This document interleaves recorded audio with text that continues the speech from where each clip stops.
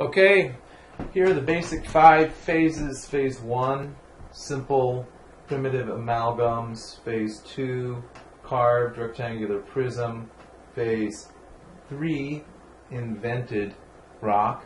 Phase four is a simple geometric of your actual rock.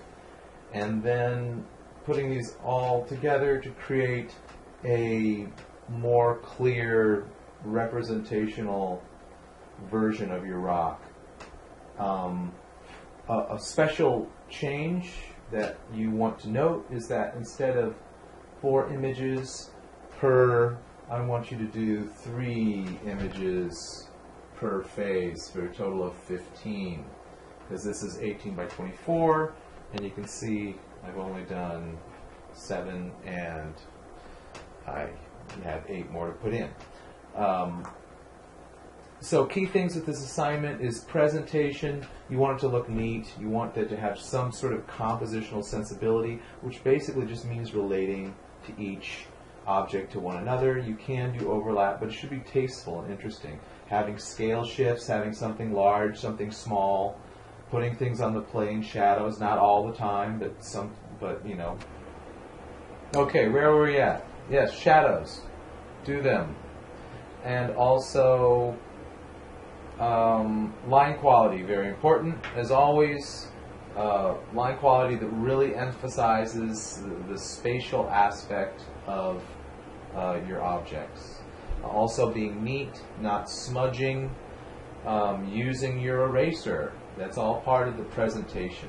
Um, okay, so up here, simple primitive amalgam. Uh, how do the shapes connect? Give them a two-point sensibility, use line hierarchy, simple light orientation, going in a direction, and um, then, you know, cast some shadows as well. So we really get a sense of uh, what's going on with them, and that way use that illusional sense, even if you're kind of faking it, try to do the best job you can in terms of, um, you know, what would the shadow be like uh, from the light direction and the, the shape that it is.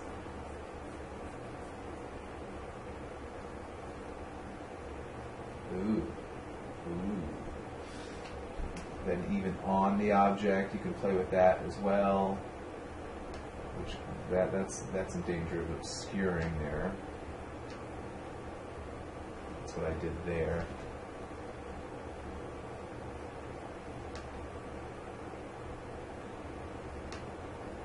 Okay, so also, oh, and then you can even do under objects. Like this is an overhang, so there could be some sort of side shadow like that.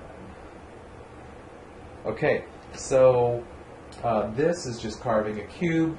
Do it in red pencil. It can be twisted or strange, uh, and then carve it away with graphite.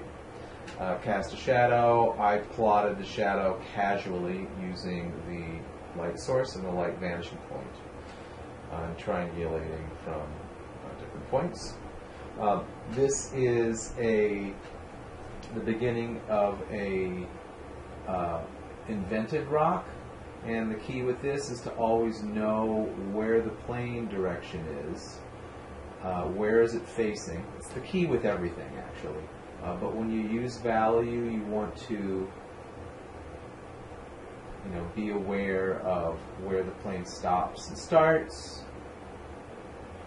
and um, just make that clear for the viewer. Yeah, this might be too complex, this one. Um, but, you know, again, I can, uh, I can create connective things through there. Just take some finessing. See how that using that line hierarchy helps to get it so it's not just a gray drawing, but you get some things to really come out at you. It makes all the difference. And then these can go back a little bit more.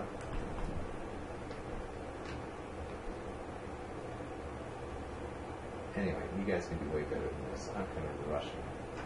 Um, okay, so uh, in terms of this over here, it's a simple geometric of your realistic rock, um, of your actual rock. And so I reduced it to this red pencil shape, which is a triangular prism that is larger uh, at the top and smaller at the bottom, sort of a trapezoidal triangular prism. And then I just beveled it like this, sliced away this top part, um, and then I indent here, but not all the way up. It's kind of like an overhang. A wing comes out there, and then I have this plane facing here. So that echoes this. This is this indent going in like that. Uh, this is this plane facing this way, uh, like that. Um, and that's what that is. So you want to make it really simple, reducible to its major components. With this, uh, yes, it is cross-hatching, but all the cross-hatching is not blindly done. It's very carefully considered and slowly arrived at uh, and, and determined, not just by the light source, but where the planes are moving, what's the direction that the planes are going in, and what is the, um, uh, and how are the planes moving, that how, what's the surface moving like. So that is how I deal with it. Um, I think I could even change the direction of these planes right here because I think this will more adequately serve what's going on if I do this.